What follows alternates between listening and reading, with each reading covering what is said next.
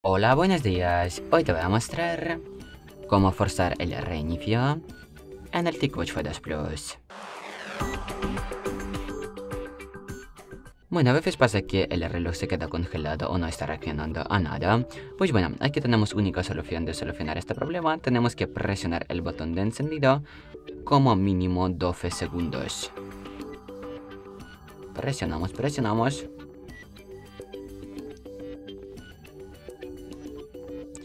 Y cuando se haya vibrado, pues entonces soltamos el dedo del botón de encendido y esperamos hasta que se reinicie nuestro reloj.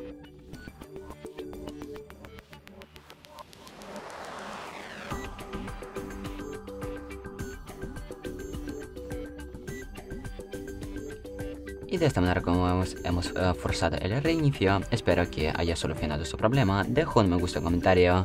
Hasta luego.